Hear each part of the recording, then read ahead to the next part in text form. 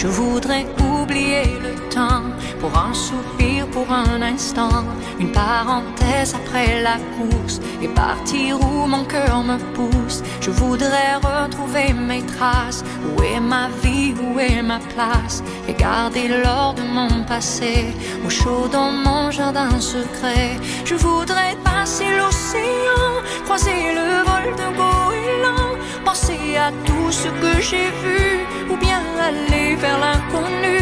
Je voudrais décrocher la lune, je voudrais même sauver la terre, mais avant tout, je voudrais parler à mon père. Parler à mon père. Je voudrais choisir un bateau, pas le plus grand ni le plus beau. Je le remplirai des images et des parfums de mes trouver au creux de ma mémoire les voix de ceux qui m'ont appris qu'il n'y a pas